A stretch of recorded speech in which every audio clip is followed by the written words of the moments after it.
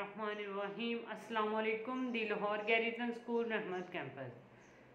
This is class two subject English literature poem the story of Johnny head in air the story of Johnny head in air today the date is twenty six May and twenty today we will do reading page number twenty eight lines one two ten Let's start the reading. Student, we have done the words to learn and words meaning of this unit. Now we will do reading of this poem.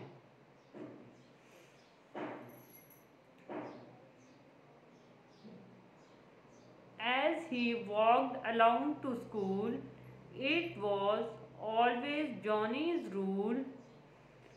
As he walked along to school, जैसे ही वो scoop की तरफ़ जाता था it was always Johnny rule ये Johnny का असूल था, ये हमेशा जॉनी का असूल था to be looking at the sky के स्काई की तरफ़ देखना, आसमान की तरफ़ देखना। And the clouds that floated by और वो बादल जो वहाँ से गुजरते थे बट जस्ट बिफोर हिम ले लेकिन उसके रास्ते में जो कुछ मर्ज़ी पड़ा होता था उसके सामने इन हिज वे उसके रास्ते में। यहाँ पे इस पैराग्राफ को मैं आपको बताती हूँ कि ये पोइम है। पोइम में इसी तरह सेंटेंस बनाए जाते हैं कि जोनी का ये रूल था कि वह जब भी स्कूल जाता था वो आस, आसमान की तरफ़ देखता रहता था और उसके ऊपर से बादल गुजर रहे होते थे लेकिन वो अपने सामने नहीं देखता था। नीचे जो सामने उसके क्या चीज़ पड़ी है, उसके रास्ते में क्या आ रहा है, वो उसकी तरफ़ नहीं देखता था।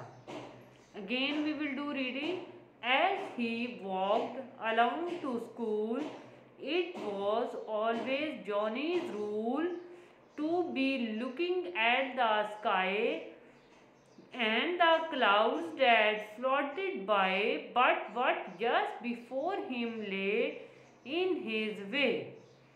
कि as he walked around to school जैसे ही वो स्कूल को जाता था it was always Johnny's rule ये जॉनी का असूल था to be looking at the sky के आसमान की तरफ़ देखता रहता था। But the cloud that floated by जो बादल वहाँ से गुजरते थे बट जस्ट बिफोर हिम ले लेकिन उसके आगे सामने जो पड़ा होता था, इन देश के रास्ते में जो भी आता था। Johnny never thought about Johnny उसके बारे में नहीं सोचता था। कि उसके सामने रास्ते में जो कुछ भी आ रहा है जॉनी उसके बारे में नहीं सोचता था।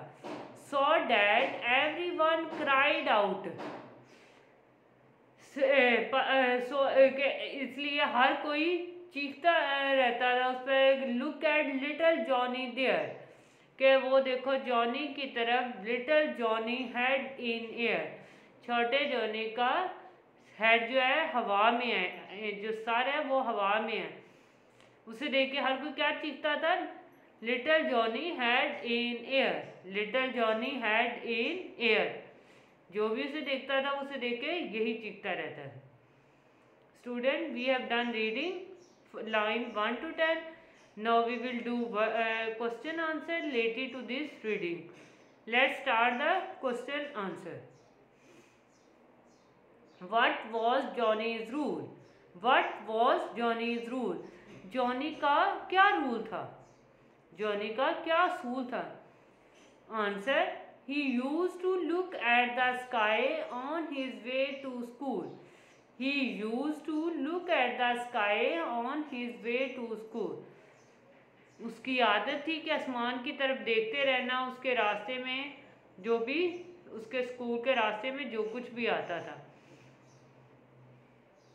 जब वो स्कूल के रास्ते की तरफ़ जाता था तो वो हमेशा आसमान की तरफ़ देखता रहता था। ही यूज़ टू उसकी आदत थी कि आसमान की तरफ़ देखते रहना जब वो स्कूल जाता था। What was Johnny's rule he use to look at the sky on his way to school what came in Johnny's way one day what came in Johnny's way one day एक दिन Johnny के रास्ते में क्या आया? A little dog came in Johnny's way one day a little dog came in Johnny's way one day एक दिन एक छोटा सा कुत्ता जो था वो जॉनी के रास्ते में आ गया। Again we will revise this to question what was Johnny's rule he use to look at the sky on his way to school Came in Johnny's way one day? A little dog came in Johnny's way one day. Student, this is all about today. Hopefully you understand this lecture. Learn it.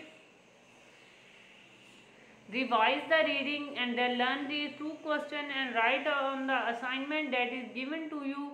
Your writing must be neat and excellent. Your learning should be awesome.